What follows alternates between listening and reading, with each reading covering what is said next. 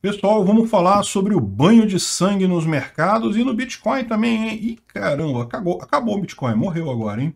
Essa notícia foi sugerida por Luiz Silva, Anderson R e várias outras pessoas. Obrigado aí ao pessoal que sugeriu a notícia. Obrigado a você que está assistindo o nosso vídeo. Se você gosta do nosso conteúdo, por favor, deixe o seu like e se inscreva aqui no canal, né? Pois é, as bolsas de valores nesses últimos dias aí têm caído de forma expressiva, caído muito mesmo o que está acontecendo com as bolsas de valores? Bem, a gente sabe o que está acontecendo. A gente vem falando aqui desde 2020 que isso iria acontecer. Fiz vários vídeos lá no Visão Libertária falando, olha só, vai vir um grande crash aí mais adiante. Não tem como ser sustentável esse dinheiro todo que está sendo imprimido pelos governos. O que está acontecendo? O governo começou a imprimir, quando eu falo governo, eu não estou falando necessariamente do brasileiro, mas principalmente do americano, né? O governo americano imprimiu um monte de dinheiro durante a crise da Covid para tratar e coisa e tal, para dar estímulo e para ajudar e coisa e tal. O que, que acontece nesses casos? O governo imprime dinheiro e, num primeiro momento, isso nem causa tanta, tanto problema. Por quê? Porque uh, as pessoas guardam aquele dinheiro, elas não usam aquele dinheiro propriamente dito, né? Numa situação de preocupação, quando você está passando por uma Covid, você não pode passear mesmo, não pode viajar. Então você pega aquele dinheiro e guarda. Então, num primeiro momento, não teve grandes problemas. Isso a gente falou ao longo do tempo é, é, como seria. Né? E à medida que começa a, parar a pandemia, ia começar a ter inflação. Por quê? Porque as pessoas agora pegam esse dinheiro e querem gastar esse dinheiro com as coisas e coisa e tal. Mas o principal que acontece é o seguinte, o americano ainda guarda muito dinheiro, ele faz muita poupança. Então o grosso do dinheiro continua parado na poupança, nas ações, na bolsa de valores. E aí, o que, que acontece nesse caso? Né? No momento que o Fed começa a subir a taxa de juros, e ó, você pode pegar aquele vídeo que a gente fez do Michael Burry, é, é, que, que previu esse crash, coisa e tal, tá lá, gente falou literalmente no vídeo. Quando é que vai ser esse grande, grande crash? Vai ser quando o Fed subir a taxa de juros, começar a subir a taxa de juros. E foi o que aconteceu. O Fed americano, o Banco Central americano, né, é, é Federal Reserve, ele subiu a taxa de juros básica para meio por cento, é, é, em meio por cento, né, em meio por cento, ficou para 1% agora, então é a maior taxa de juros americana já em muito tempo. E o que, que aconteceu com os mercados? Desabaram todos, né? Caíram muita coisa mesmo. Uh, tem aqui a visão de o quanto que uh, os maiores, as maiores quedas da Nasdaq desde março de 2020. Então você teve várias quedas aqui em, na, em março de 2020, teve uma em junho também de 2020, mas tudo isso daqui é consequência o quê? A consequência da pandemia, né? De fato, você estava entrando numa situação que ninguém sabia como é que seria essa pandemia, se ia matar todo mundo, se ia sobreviver gente, o que, que ia acontecer. Naquele momento, em março de 2020, ninguém sabia o que, que ia acontecer. Então é natural que você tivesse quedas muito grandes. Mas agora você tem, em maio de 2022, essa última aqui, uma queda comparável a essas aqui, tá? Agora, olha só, o que, que vai acontecer nesse caso? Isso quer dizer que esse vai ser um grande crash igual ao de 1929, coisa e tal? Olha, sem dúvida alguma, potencial tem, tá? Potencial tem por quê? Porque, como eu disse, muita gente usou, muito, muito novato entrou na Bolsa de Valores aí nesses últimos meses, justamente por estar com uma sobra, né? Por ter recebido algum benefício, por ter algum dinheiro sobrando.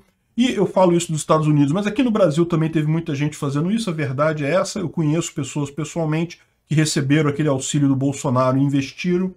Enfim, é... mas o que acontece nesse caso? O que estão falando é o seguinte, muito pouco provável que essa, esse crash será como 1929, por exemplo, que foi o grande crash da Bolsa e coisa e tal. Também não deve ser igual ao crash de 2008 das, das, uh, do subprime, dos imóveis e coisa e tal.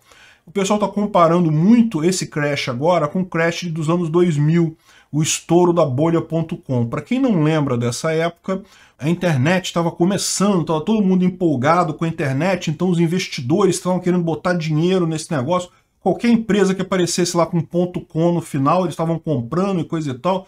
Às vezes a empresa não tinha nada, não produzia nada, mal acabou de montar a empresa, já estava sendo vendida por milhões e milhões aí, e de uma forma que não é muito diferente do que a gente tem visto com algumas startups modernas. Né? Você vê algumas empresas, algumas indústrias aí que é, realmente revolucionaram o mundo, como a Uber e várias outras empresas, mas que a verdade é a seguinte, se você olhar em termos de estrutura financeira, é muito mais precário do que realmente é, seria esperado de uma indústria, de uma empresa com o valor que ela tem, né?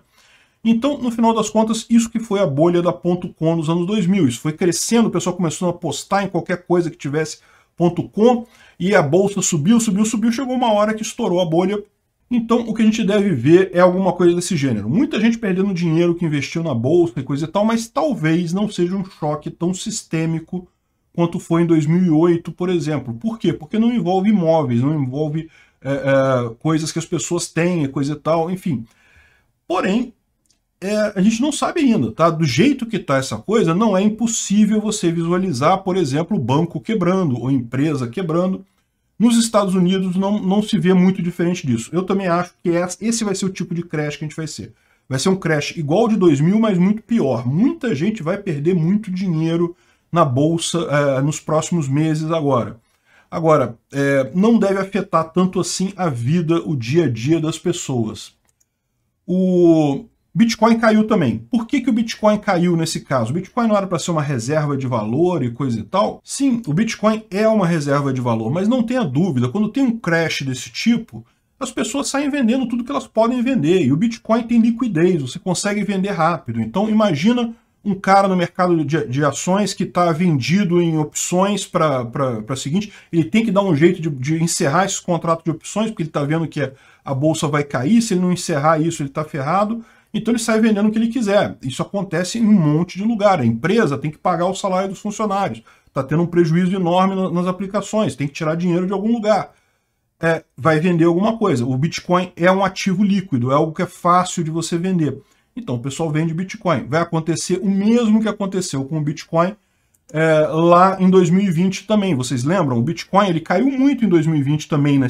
quando teve essa grande queda aqui, ele também deu uma desabada. Por quê? Mesmo motivo, liquidez, as pessoas precisam de dinheiro na mão, elas vão lá e vendem o Bitcoin. Por que isso? Porque o Bitcoin ainda é reserva de valor. No momento que o Bitcoin for dinheiro de verdade, o pessoal usar direto, nem precisa isso. Mas enquanto for reserva de valor, vai acontecer esse tipo de coisa. As pessoas vão vender para fazer cash para resolver os problemas na moeda fiat. Enfim, uh, mas o que acontece com o Bitcoin? Ele rapidamente recupera valor. E foi o que aconteceu em 2020. Ele recuperou o valor muito antes dos outros ativos, né? Então o que a gente espera aqui também, ele vai cair? Vai. Vai parar por aqui a queda? Não sei te dizer. Pode ser que caia mais, pode ser que não caia. Mas o fato é, a tendência no longo prazo é ele recuperar valor muito mais rápido do que o resto dos ativos. Então, é, eu, tô, eu tô solidário em você na sua dor aí também, eu também perdi dinheiro com essa queda do Bitcoin, mas faz parte da vida, o negócio é segurar, não vender e daqui a pouco a coisa melhora, né? Bom, uh, e lógico, o Brasil também vai ser afetado por essa crise. Né? Eu fiz até um vídeo lá no Visão Libertária sobre a teoria do dólar milkshake, que embora o dólar seja o grande problema, não tenha dúvida, vai acontecer, vai chegar aqui no Brasil esse problema também. É, a, a Ibovespa já está despencando, está caindo muito, a gente pode, vai ter dias aí muito ruins do ponto de vista da, do mercado financeiro. E aquele negócio que eu estou falando, a minha previsão por enquanto ainda é uma crise do tipo 2000 muita gente perdendo dinheiro, mas não afetando o mundo, digamos, normal. Agora, existe a chance disso piorar. Se, por exemplo, um banco começar a quebrar, e isso pode acontecer, muito banco teve muito prejuízo com isso, tiver uma quebradeira, aí a coisa muda de figura. Aí você começa a ter muita gente perdendo emprego, é, é, começa a ter o efeito em cascata das coisas caírem, né, coisa e tal. Então, isso é uma coisa realmente preocupante. Mas sabe para quem isso é mais preocupante ainda? Para a China. É, a China também, como a gente já vem falando há bastante tempo, a China está numa situação muito complicada financeira. Os investidores estão fugindo da China a todo custo.